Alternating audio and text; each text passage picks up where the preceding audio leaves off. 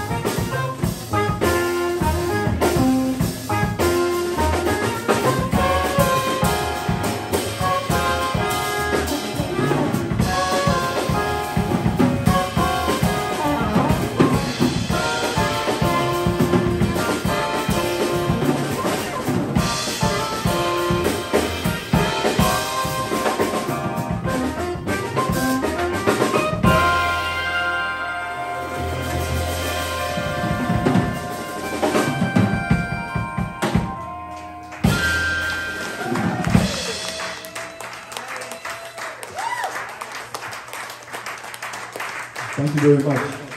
That song's called Painted Paradise. And uh, how about a hand for our transcription arranger, Bradley Mellen.